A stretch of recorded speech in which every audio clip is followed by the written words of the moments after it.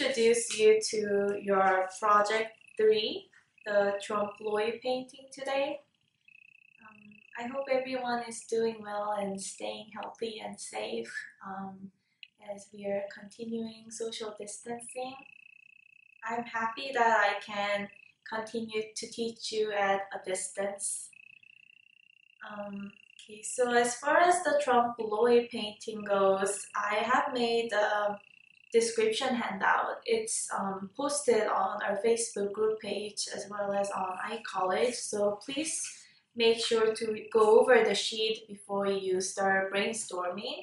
I also require you to read one article that I have written on the sheet before you start the project.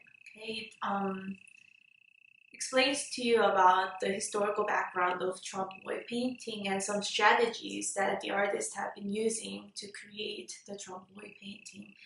Um, trompe l'oeil in French um, translates to to fool the eye. So it's um, um, a visual deception that's taken to an extreme to um, trick the eye, meaning that the details, the um, the details of the painting and the hyperrealism is one part, uh, one important part of this genre, but there are some other strategies that the reading talks about that you can employ.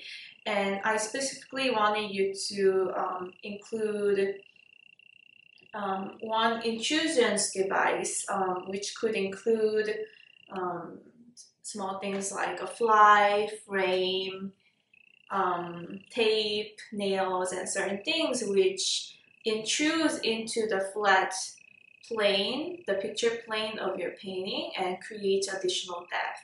Okay, so I hope you read about it and um, if you have any questions as you're brainstorming, feel free to let me know. Okay.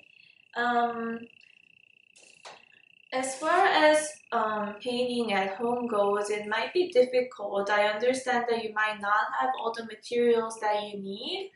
Um, so if you would like to discuss with me um, what you could do, um, if you don't have all your materials, please write me an email and I will respond to you right away. Um, I'm, I'm sure you don't have a glass palette at home like we used to at school and you can get really creative with your surface, like paint mixing surface. But what I like to do is like I have a lot of old magazines, um, which works really well for you know squeezing out your paint and color mixing. So what I do is I try to find kind of like a neutral color, like a gray. Gray color is really good for color mixing, and then you can mix your paint on it and throw it out after you're done. Um, you don't have to clean up your Gamsol container after each use because um, the paint particles settle down after each use. So when you're ready to use it again for the next section, you should have clear Gamsol liquid on the top. Um, and this Gamsol should last you for a few months. Um, I think you can use the same Gamsol um, for the rest of the semester as you finish this course. Uh, however, when you're ready to um, dump this liquid out and clean your container um, before you re refill the Gamsol, what I recommend you to do is um, um, not to dump this out in your sink because this is bad for the environment and your plumbing system.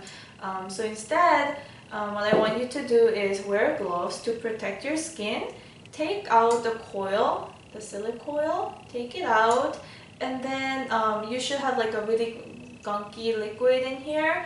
Um, so use your rag or paper towel to just take out all the liquid and um, gunky particles from the jar. Um, so um, what basically what you're doing is like letting the cloth soak out everything until your container is empty and clean. And with your soaked rag and paper towel, you can just put it in a trash bag and throw it away. Okay? Okay, so for this project, you have uh, about two weeks, four painting sessions um, until April 8th. And that's when I want you to take a good image of your painting under a, a good daylight and um, post the image on Facebook um, with caption. Um, and I will make sure to give you feedbacks through Facebook and um, that's a good way of sharing your piece with your classmates and we can continue interacting and give each other feedback while we are learning from a distance. Um, so what I wanted to tell you is make the size manageable for your schedule, okay? And you don't have to make a big painting. Um, you can make a small painting depending on which object you're working on. Um, so that's all I wanted to say. Um, what else?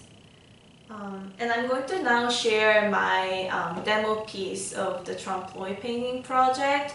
Um, I have edited the video so that um, they're sectioned out into different parts and I have tagged um, the time corresponding to the sections below. So if you want to revisit a section or um, skip through a section and move on to another section, you can just use the time link that I tagged below to uh, move around the video. Okay, so I hope you enjoyed the video. I hope you enjoy this project. I look forward to seeing your projects.